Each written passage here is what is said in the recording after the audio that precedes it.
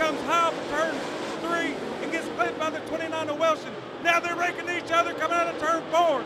The 29 of Wilson's raking everybody on the racetrack. He's got a toe out on the right front,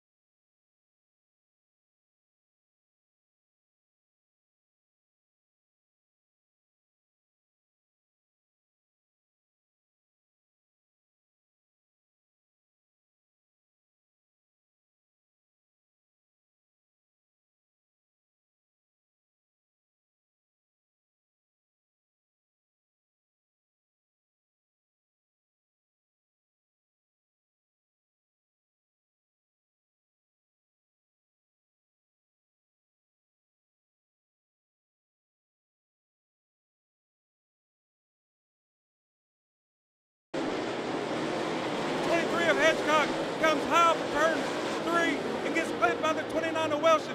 Now they're raking each other coming out of turn four. The 29 of Wilson's raking everybody on the racetrack. He's got a toe out on the right front, brain out of caution.